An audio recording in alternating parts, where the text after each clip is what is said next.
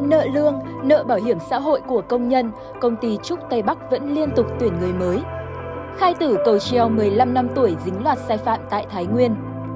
Hồ Pá Khoang mênh mang sóng nước giữa núi rừng Điện Biên là một số tin tức nổi bật khu vực Tây Bắc ngày 28 tháng 5. Công ty trách nhiệm hữu hạn chế biến lâm sản Trúc Tây Bắc, công ty Trúc Tây Bắc, có trụ sở tại huyện Nguyên Bình, tỉnh Cao Bằng. Khi vào làm tại đơn vị này, nhiều người lao động đợi mòn mỏi vẫn không được đóng bảo hiểm xã hội, thậm chí còn bị nợ luôn tiền lương.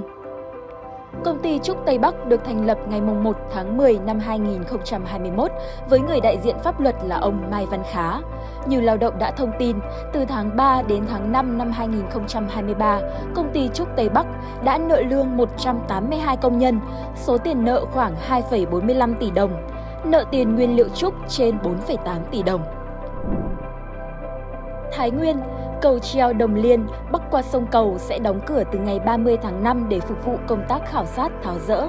Theo thông báo số 19 tbzd của công ty cổ phần bia nước giải khát Thái Nguyên, chủ đầu tư, đơn vị sẽ đóng cầu treo Đồng Liên ngưng sử dụng từ ngày 30 tháng 5. Việc đóng cầu nhằm tiến hành khảo sát, lên phương án và tháo rỡ cầu.